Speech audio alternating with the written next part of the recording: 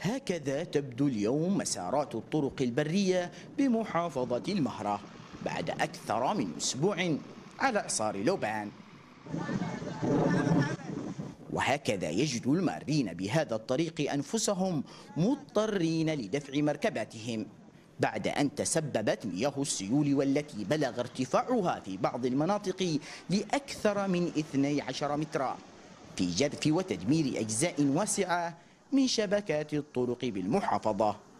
حجم آه، الأضرار التي صابت محافظة المهرة في قطاع البنية التحتية في قطاع الطرقات بحدود 60 إلى 70% من الطرقات. الخطوط الرئيسية المربوطة بالعاصمة تعرضت للانهيارات.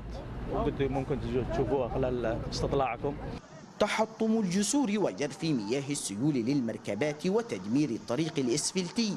أجبر السكان والمسافرين على هذه الطريق الدولية الرابطة بين اليمن وسلطنة عمان للجوء لمسارات بديلة أخرى وعرة وغير ممهدة ما زاد من حجم معاناة المارين وضاعف من زمن المسافة والسفر.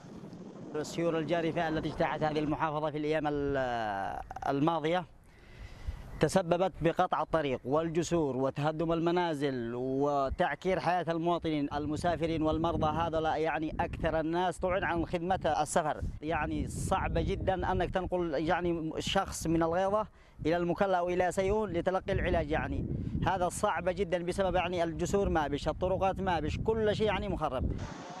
وليست هذه المشاهد الوحيدة للأضرار التي خلفتها تأثيرات الحركة المدارية لوبان على البنية التحتية بمحافظة المهرة.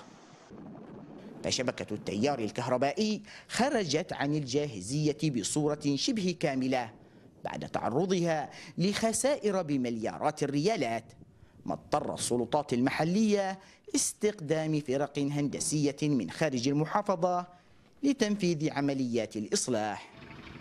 والحال لا يختلف كذلك بالنسبة لقطاعات المياه وشبكات الاتصالات التي نالت هي أيضا نصيبها من الجرف والتدمير فيما لا تزال جهود السلطات المحلية مستمرة لإعادة إصلاح ما يمكن إصلاحه.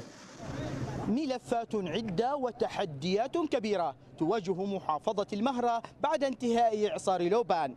الأمر الذي يتطلب تدخلا عاجلا من قبل السلطات المحلية والحكومة والتحالف العربي خصوصا في ملف الخدمات.